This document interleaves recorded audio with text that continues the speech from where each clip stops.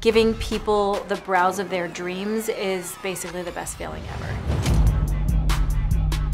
Hey guys, it's Suzie Moldavon, makeup artist and owner of Flybrow. I'm going to demystify how to do your brows evenly and as thick as possible. Doing brows has sort of opened the door to clients like Mindy Kaling and Lady Gaga, but I also get to work with the every girl and every woman.